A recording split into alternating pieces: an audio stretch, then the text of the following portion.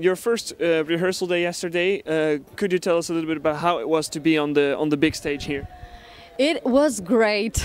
You know, the stage is really huge. It's uh, all the lights, all the sound. It's so powerful and so beautiful. I felt really great, and I can't wait the moment uh, to when when this uh, all arena will be filled up with people, fans, and I will sing to them. It will be. We haven't seen, uh, we here have seen, of course, the rehearsal footage, but people at home who are not here haven't seen anything. Can you tell us a little bit, because you're one of the dancers, how the act for uh, for Moldova this year, how it will look like, what you're doing on the stage? Oh, we have a very interesting concept this year. Um, I think uh, it's all people who will see the Eurovision will remember it for a long time.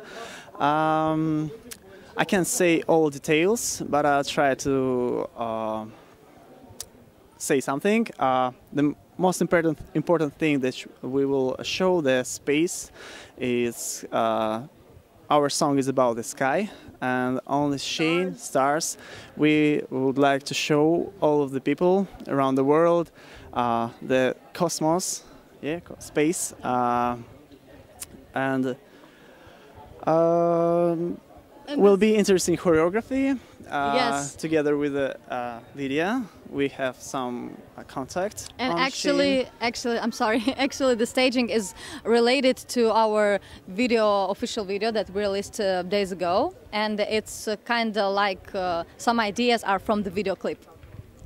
So you were all day here at the arena rehearsing and everything. You're here now giving uh, the interviews.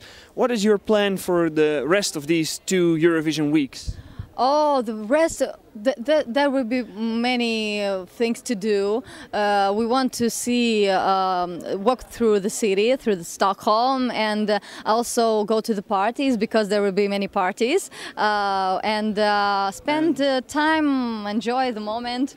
By the way we will improve our show Yes, Uh, that's, that's for sure. Yesterday we had the first rehearsal.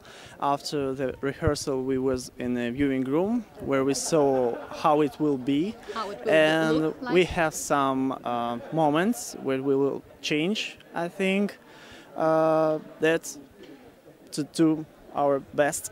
What is the most important change you will make? the dress. It will be another dress. Yesterday I was like a mm, casual uh, style, but it will be a really nice dress uh, in the avant-garde style. So um, uh, another thing, you're coming from from Moldova.